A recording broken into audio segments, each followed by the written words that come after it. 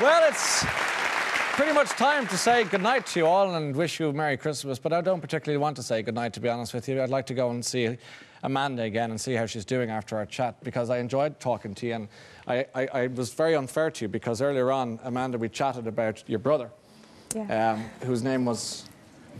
Remind Gareth. Me? Yeah, Gareth, and yeah, he has a little girl called Sive. Sive. And Muriel, you're, you're, sorry, Madeline. Madeline, you are going to go and see Sive for the first time, correct? Yes. Okay.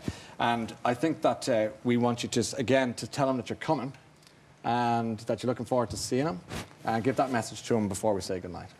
Hi, Gareth. This is Mam. I'm going to see you for Christmas.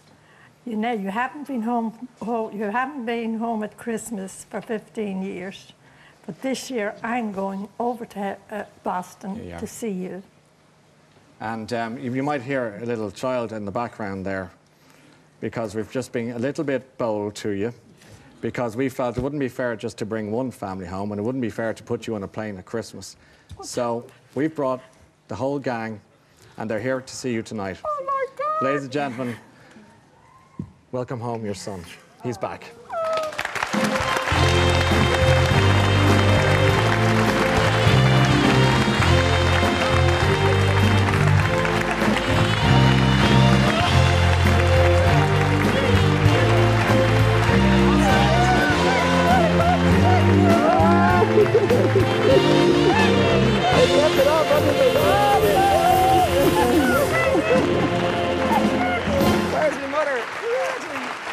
You, Mom? Yeah, it's great to see you.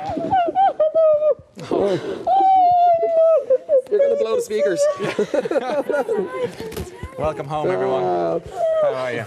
No, don't mention it. Well, Gareth, Ryan, how you doing? who's that? Welcome.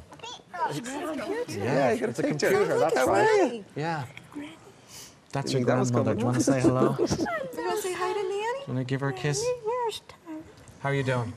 Great. How does it feel to see is your all, mum? I'm glad it's all coming to an end now. We've been holding secrets for a week now. Yeah. Yeah, yeah. We, we found out about it on Friday and ended up on the plane on Tuesday, so there was a lot of uh, a lot of rushing around and trying to keep it secret. How are you yeah. Oh, I'm feeling wonderful. This is the best Christmas present I ever had. feeling? Okay. And how are the girls?